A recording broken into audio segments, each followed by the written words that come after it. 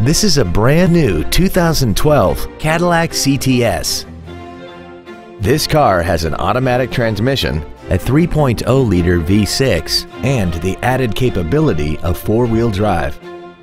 Its top features include heated seats, air conditioning with automatic climate control, cruise control, commercial-free satellite radio, a leather-wrapped steering wheel, alloy wheels, fog lamps, traction control, a folding rear seat, and a sunroof enables you to fill the cabin with fresh air at the push of a button.